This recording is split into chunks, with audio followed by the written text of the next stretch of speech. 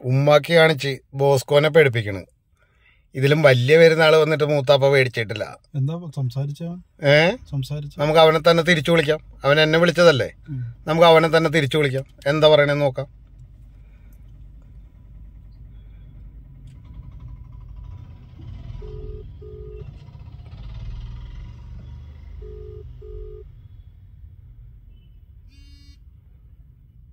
അവൻ കട്ട് ചെയ്ത് കളഞ്ഞ്. എന്നെ വിളിച്ച് പേടിപ്പിക്കാനായിട്ട്. പോലീസിന്റെ ഔദ്യോഗിക വേഷം ദുർവിനിയോഗം ചെയ്ത സാഹചര്യത്തിൽ അവനെതിരെ നടപടി എടുക്കണ്ടേ? കേരള പോലീസ് വെറുതെ മാ ഉമ്മാക്കി കാണിച്ച് പേടിപ്പിക്കാതിരിക്കണമല്ലോ അതെ ആളുടെ ഫോട്ടോ കണ്ടില്ലേ? കണ്ടോ? ഫോട്ടോ കണ്ടോ? സൈബർ ക്രൈം ആയില്ലേ? ഇത് യഥാർത്ഥത്തിൽ ഒരു പോലീസുകാരനാണെങ്കിൽ ആ പോലീസുകാരന്റെ ഫോട്ടോ ദുർവിനിയോഗം ചെയ്തതാണെങ്കിൽ അതിന് നടപടി എടുക്കണ്ടേ? അതിനല്ല ഐ ടി വിഭാഗം. ഇതേ കേരള പോലീസ് വിളിക്കുന്നു. നമസ്കാരം. ആ ഞാൻ വിളിച്ചിരുന്നു. എനിക്ക് ഒരു കോൾ വന്നിരുന്നു. അപ്പോൾ കോൾ വന്നത് ഇതിന്നറിഞ്ഞേ ഒരു എൺപത്തിരണ്ട് പൂജ്യം എട്ട് നാൽപ്പത്തൊമ്പത് ഇരുപത്തേഴ് മുപ്പത്തെട്ട്. അതിൽ നിന്നായിരുന്നു എനിക്ക് കോൾ വന്നത്. വാട്സാപ്പ് കോളാണ് വന്നത്. അല്ല ഞാൻ പോലീസുകാരനാണെന്നും പറഞ്ഞുകൊണ്ടാണ് എന്നെ വിളിച്ചത്. ആ. പോലീസുകാരന്റെ ഫോട്ടോ ഉൾപ്പെടെ വെച്ചിട്ടാണ് വന്നത്. ഒരു ഹിന്ദിക്കാരനാണ് സംസാരിച്ചത്. സംസാരിച്ച് തുടങ്ങിയപ്പോഴത്തേനും ഞാൻ വീഡിയോ കോൾ റെക്കോർഡ് ചെയ്തു. അപ്പോഴത്തേനും അവൻ കട്ട് ചെയ്തുകൊണ്ട് പോയി. ഫേക്ക് കോൾ ആണ്. ഭീഷണിപ്പെടുത്തി വിളിച്ചിരുന്ന പോലീസായിരുന്നല്ലോ വെറുതെ ആ യൂണിഫോം ഒക്കെ ഇട്ടാണ് ആണ്. ഭീഷണിപ്പെടുത്തി ഭീഷണിപ്പെടുത്തിയിട്ട് കാശ് തട്ടാണ് പരിപാടി ഇതുപോലത്തെ കോളൊന്നും ഇനി റെസ്പോണ്ട് ചെയ്യായിരുന്നു കേട്ടോ. അല്ല ഞാനൊരു കാര്യം ചോദിച്ചോട്ടെ? എനിക്കൊരു സംശയമാണ്. കാരണം അതിനകത്ത് ഇപ്പോഴും ഫോട്ടോയിൽ കാണിക്കുന്ന നമ്പറും ആ പോലീസുകാരന്റെ പോലീസുകാരന്റെ യൂണിഫോം ഇട്ട പോലീസുകാരന്റെ ഇതുമാണല്ലോ കാണിച്ചേക്കണത്. അപ്പൊ അങ്ങനെ വന്നു കഴിഞ്ഞാൽ പോലീസ് യൂണിഫോം ദുർവിനിയോഗം ചെയ്തു എന്നല്ലേ ചട്ടം? അപ്പൊ അങ്ങനെയാണെങ്കിൽ അതിന്റെ പേരിൽ എല്ലാത്തിന്റെ പേരിലും കേസ് എടുക്കാം ആ. ഇതേ ഈ വിളിക്കുന്ന നമ്പർ അവരുടെ ആയിരിക്കില്ല അതിനടുത്തുള്ള അക്കൗണ്ട് നമ്പർ അവരുടെ ആയിരിക്കില്ല ഇവരെ നമ്മൾ കേസെല്ലാം എടുത്തുകൊണ്ടിരിക്കുകയാണ്. അത് മറ്റ് കംബോഡിയ വിയറ്റ്നാം പോലുള്ള രാജ്യങ്ങളിൽ വലിയൊരു ഏജൻസി ആയിട്ട് നിന്ന് ഒരുപാട് പേരെ പറ്റിക്കുന്നതാണ്. പക്ഷെ ഇതൊരു ഇന്ത്യൻ നമ്പർ ആണല്ലോ കാണിച്ചേക്കണത് എനിക്ക്. ഇന്ത്യ നോർത്ത് ഇന്ത്യയിൽ ഇതുപോലത്തെ ഒരുപാട് സ്കാം നടക്കുന്നുണ്ട്. നോർത്ത് ഇന്ത്യയിലെ പാവപ്പെട്ട സാധാരണക്കാർക്ക് ഒരു അഞ്ഞൂറ് രൂപ കൊടുത്ത് അവരുടെ ഐഡന്റിറ്റി എടുത്തിട്ട് അവരുടെ അക്കൗണ്ടും അവരുടെ ഐഡന്റിറ്റിയിൽ സിമ്മും എടുത്തിട്ടാണ് ചെയ്യുന്നത്. ശരി. അടുത്ത് നിങ്ങൾ അടുത്ത് നിങ്ങളെ വീഡിയോ കോൾ ചെയ്യും. വീഡിയോ കോൾ ചെയ്യുമ്പോഴത്തേക്കും നിങ്ങൾ വലിയൊരു ഓഫീസ് നിങ്ങളുടെ മുമ്പിൽ പ്രത്യക്ഷപ്പെടും കേരള പോലീസ് ആണെന്ന് എഴുതിയിരിക്കും. അടുത്തൊരു ഐ പി എസ് കാരൻ പ്രത്യക്ഷപ്പെടും നിങ്ങളെ ഭീഷണിപ്പെടുത്തി നിങ്ങൾ ഫസ്റ്റ് അറസ്റ്റിലാണെന്ന് പറയും. നിങ്ങളെ ഭീഷണിപ്പെടുത്തി നിങ്ങളുടെ കാശ് എടുക്കും ഇങ്ങനെയാണ് പലരുടെയും കാശ് തട്ടിക്കൊണ്ട് പോകുന്നത്. ശരി. മനസ്സിലായി.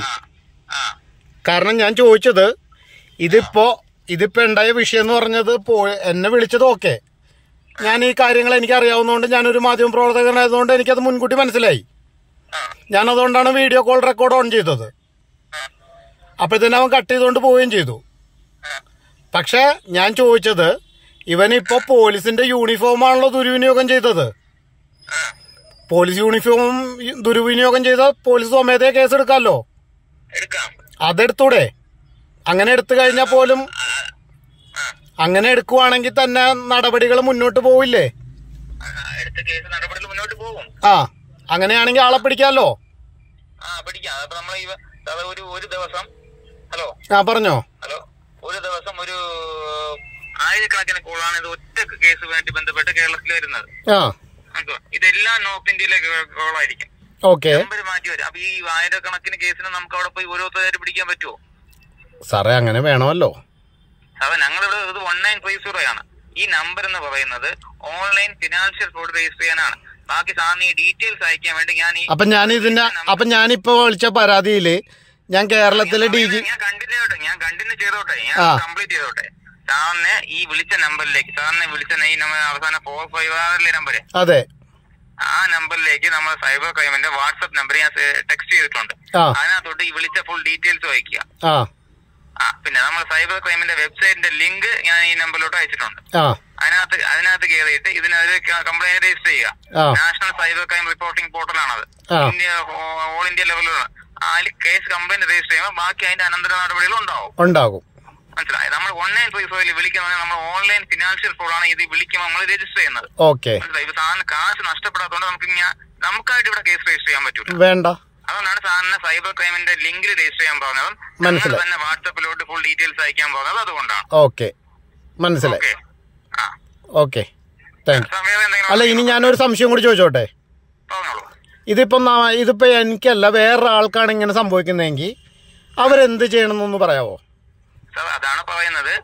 കംപ്ലൈന്റ് കാശ് നഷ്ടപ്പെടുന്നു അതിനുള്ള അവയർനെസ് ഒരുപാട് നമ്മൾ കൊടുക്കുന്നുണ്ട്. കംപ്ലൈന്റ് കാശ് നഷ്ടപ്പെടുന്നുള്ളവർ വിളിക്കുന്നത് നമ്മൾ കേസ് രജിസ്റ്റർ ചെയ്യുന്നുണ്ട് കേസ് രജിസ്റ്റർ ചെയ്ത് ബാക്കി അതിന്റെ അന്വേഷണം നടപടികളായിട്ട് മുന്നോട്ട് പോകുന്നുണ്ട്. അതെ. അല്ല സാധാരണഗതിയിൽ ഒരുപാട് പേര് ഒരുപാട് പേര് അറസ്റ്റ് ചെയ്യുന്നുണ്ട്. കാശ് കുറെ തിരിച്ചു കിട്ടുന്നുണ്ട്. ആ അന്വേഷണം ബാക്കി നമ്മളവിടെ രജിസ്റ്റർ ചെയ്യുന്നതിന്റെ കൺസേൺ സ്റ്റേഷനിലോട്ട് അത് ഫോർവേഡ് ആയി പോകുന്നുണ്ട്. ബാക്കി സ്റ്റേഷനിൽ നിന്ന് അന്വേഷണം നടക്കുന്നത്. ഓക്കെ. ഓക്കെ. ശരി. Thank you. ആ ശരി സാർ. ഓക്കെ.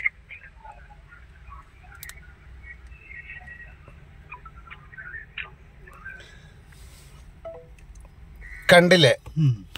കണ്ടോ? ഇതാണ് ഇവിടുത്തെ അവസ്ഥ. അവൻ എന്നെ മനസ്സിലായിട്ടുണ്ടാവും. അല്ലെങ്കിൽ എന്റെ ഡി പി എന്താന്ന് ഞാൻ നോക്കട്ടെ കേട്ടോ ആദ്യം എന്നെ വിളിച്ച നമ്പറിൽ ഡി പി എന്താന്ന് ഞാൻ ആദ്യം നോക്കട്ടെ. അവൻ എന്നെ ഉമ്മാക്കി കാണിച്ച് പേടിപ്പിച്ച ഞാൻ പേടിക്കൊന്നുമില്ല. പോയ ഒറ്റ വർത്താനേ ഉള്ളൂ. പോയി മാമിക്ക് മാവാട്ടണ വേലേ പാറ് കണ്ണ എന്ന് തന്നെ നമ്മൾ പറയുള്ളൂ. ദേ അതിനകത്ത് എന്റെ ഡി പി ഇതാണ്. കാണുന്നുണ്ടല്ലോ? അത് അന്നും പറയും ഇന്നും പറയും നാളെയും പറയും. അല്ലാതെ അവൻ ഇനി ഇനി അമേരിക്കയിൽ നിന്ന് ബുഷ് വിളിച്ചിട്ട് എന്നോട് പറയുവാണ് മോനെ ബോസ്കോ നിന്റെ പേരിൽ കേസ് എടുത്തിട്ടുണ്ടെന്ന് പറഞ്ഞാലും ഞാൻ അത് തന്നെ പറയും. പോയി മാമിക്ക് മാവാട്ടണ വേലയെ പാറ കണ്ണായെന്ന് എന്ന് തന്നെ ഞാൻ പറയുള്ളൂ. അല്ലാതെ ഞാൻ ഇതിന്റെ പുറത്തൊരു പരാതിയും കൊടുക്കൂല. കേരള പോലീസിലെ ഏമാമാർ പോലീസിന്റെ യൂണിഫോം ദുർവിനിയോഗം ചെയ്തതിന് മാതൃകാപരമായിട്ട് നടപടി എടുത്തിട്ട് വാ. അതല്ലേ ശരി? പോലീസിന്റെ ഔദ്യോഗിക യൂണിഫോം ദുരുവിനിയോഗം ചെയ്യാൻ പാടുണ്ടോ? ഇനി അതല്ല മറ്റേ ആ കാണിച്ച പോലീസുകാരന്റെ ഒത്താശയോടെയാണ് ഇത് ചെയ്തേക്കണമെങ്കിലോ ഇനി അതല്ല ഡ്യൂപ്ലിക്കേറ്റ് ആണെങ്കിലോ? എന്താണെങ്കിലും എനിക്കൊന്നും അറിയണ്ട. പോലീസിന്റെ ഔദ്യോഗിക യൂണിഫോം ദുരുവിനിയോഗം ചെയ്തതിന് നടപടിയെടുക്കണം. അങ്ങനെ നിങ്ങൾക്ക് നടപടിയെടുക്കാൻ റൈറ്റ് ഉണ്ട്. എടുക്കാൻ പറഞ്ഞപ്പോൾ നിങ്ങളുടെ കയ്യിൽ നിന്ന് കാശ് പോകാത്തതുകൊണ്ട് നീ പരാതി വേറെ കൊടുക്കണം എന്നൊക്കെയാണ് പറഞ്ഞത്. എനിക്ക് നേരമൊന്നുമില്ല സാറേ. സാറ് പോയിട്ട് യൂണിഫോം ദുരുപയോഗം ചെയ്ത സ്വമേധയെ കേസെടുക്കാനുള്ള റൈറ്റ് ഉണ്ട്. അത് വെച്ച് സാറ് അങ്ങോട്ട് കണ്ടുപിടിച്ചു എന്റെ കയ്യിൽ നിന്ന് പൈസ പോയിന്നില്ല എന്നല്ലേ പറഞ്ഞത്. അതുകൊണ്ട് നമുക്ക് അവിടെ രജിസ്റ്റർ ചെയ്യാൻ പറ്റില്ല എന്നല്ലേ പറഞ്ഞത്.